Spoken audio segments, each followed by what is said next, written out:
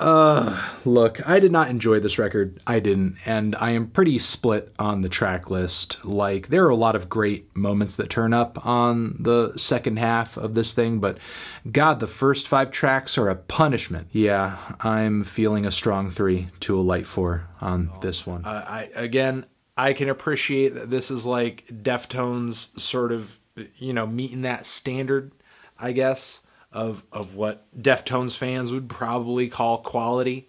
Uh, but this just has nothing for me. I'm feeling a light to decent four.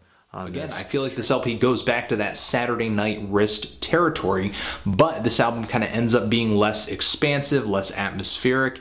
It's sort of the middle ground between Wrist and Diamond Eyes, which may please some fans a lot. But to me, those two records are, are great and are totally representative of that more ethereal and just heavier side of Deftones. For the band to just make a record that feels like it's in the middle, I don't know. You know, those extremes aren't there because of that. And because those aren't there, the excitement is sort of, you know, tampened. I'm feeling a light to decent six on this LP.